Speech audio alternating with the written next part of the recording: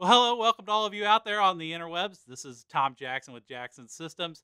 I'm really excited today. We're doing something I don't think we've ever done. I've got two of our great partners with us today, and we're going to talk about uh, a cool way that they can actually work together. So, uh, as a starting point, I'm going to bring each of them up. First, we've got uh, Michelle Larson with Diversitech. How are you Hi, doing? Tom. How are you? Doing? Oh, we got the, all, the official COVID handshake. We're here. We go. And uh, next up, back by popular demand, supposedly that's what he tells us anyway. Gary with Resideo, who I think is pretty much on every video we produce now.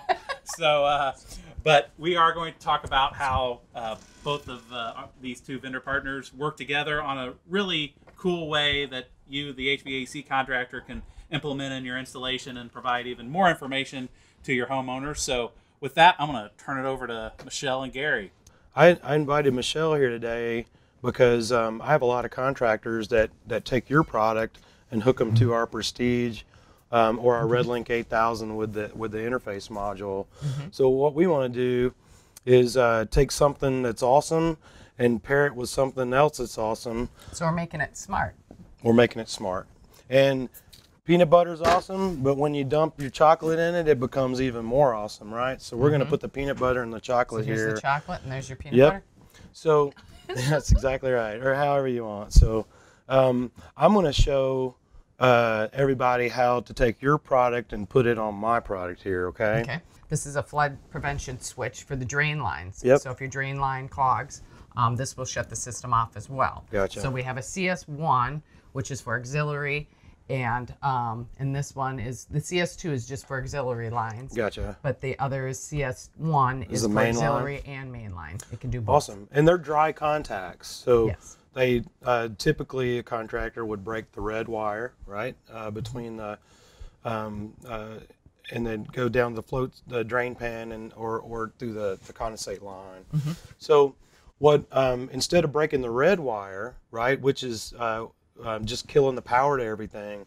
Now that we've got RedLink and Wi-Fi thermostats out there and stuff, killing that power is not the best thing because when a homeowner gets an alert, they wouldn't know what uh, the alert was. It would just be you lost power at your furnace or your heat pump or whatever.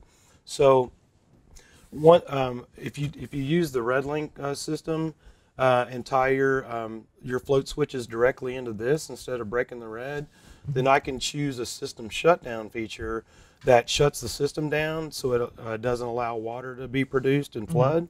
Uh, so the, the, the your product's still doing its job, but my thermostat's going to send out an email to the homeowner and the contractor and tell them that hey, it's 10 o'clock.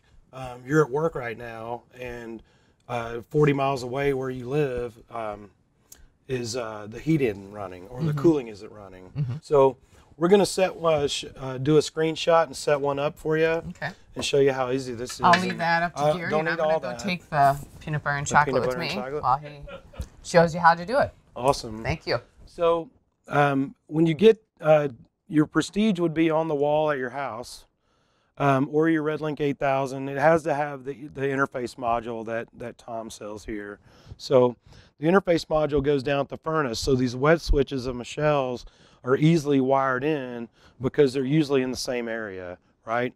So this is uh, um, Michelle's uh, uh, WSK1. Did I say that correctly? um, and little hockey puck. So I can wherever I'm going to put that in the space, it's going to be an easy wiring. It's just going to be the power. Um, you got to power it, and then you got a normally open or normally closed contact source there. So I can get my power, uh, and I can um, um, tie in my dry contact side of this switch to any one of these four S terminals on this board. Okay, so once I get that wired in and I got my, my, my wet switch placed, and it could easily be her other one, it's just the two wires that you normally break the red with. You're just going to wire them directly into the S terminal on the module. Then we're going to go to our installer options at our thermostat.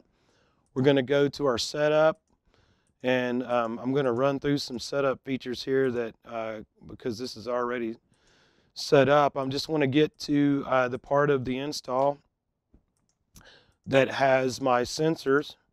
And it's asking me here, I've got a list. I've got four uh, choices on this thermostat of sensors. So I, have got full drain pan alert, dirty filter alert, water leak alert, system shutdown, service needed or fan failure. I've also got one custom alert. So on the first one, I want to show you if if you take uh, one of these wet switches and you tie it to the drain pan, you want to choose system shutdown on the Prestige or the Redlink 8000. Then you're going to go next. It's going to ask you which one of these four S terminals are you tied to. I just happen to be tied to the S1 terminals uh, for the wet switch here. Then I'm going to go next. I'm going to I'm going to tell my my dry contact in, in, on on this interface module is the wet switch a normally open or a normally closed device.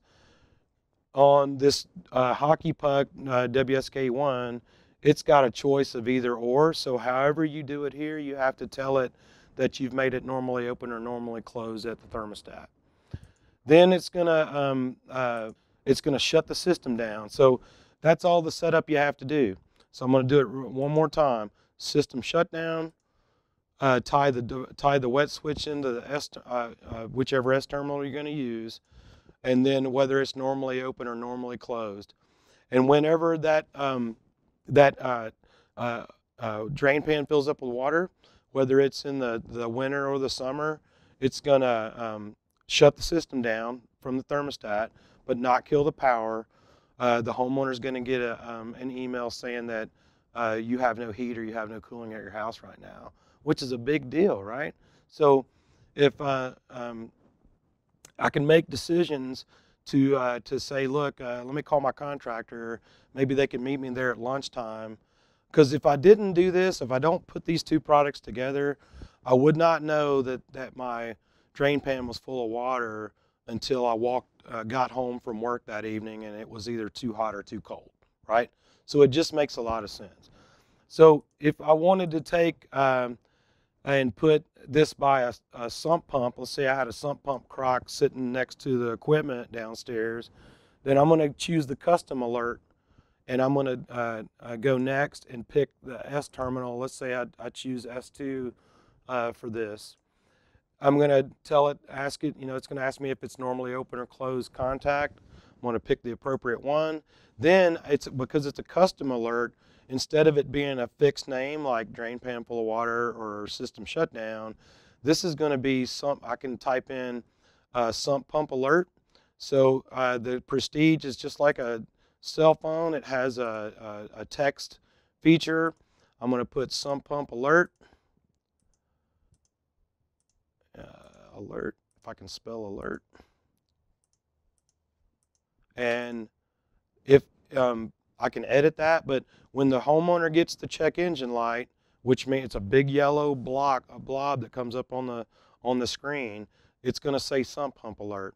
Then I'm going to say next, and I'm going to type in a message like uh, call, um, you know, uh, Tom Jackson Heating and Air to come, uh, you know, for repair. So it becomes a, a, a message between you and your customer that um, Michelle's product caught a problem, kept it from being a bigger problem, and then our thermostat emailed uh, you and connected you to your homeowner quickly. When you're done, uh, that's all the setup there is. And then if if you're um, uh, when you save your changes, and then you're good to go. And on your home screen, this is uh, um, it, it's just monitoring your system now. So very simple setup to do. Um, taking a product that um, a lot of people take take uh, for granted, which is your float switch, which is a big protection in your home. Uh, uh, marrying this thing to uh, a control that, you know, and honestly, I, have been I've been uh, I've been repping this product. We came out with this product in 2008. The EIM came out in 2013 or 12 or something, and uh, or maybe a little earlier. But these features have already always been there and probably hardly ever used. And so what we want to do with Michelle, Michelle, you want to bring that over because I want some of that. Um, right? I refilled it. Did you? Uh, did you eat some? Not yet. but um, um, thanks for making a great product and and and and, and um, taking my my great product and putting these two together. So thanks for the partnership. And if you have any questions, make sure you call Jackson Systems for either one of our two products.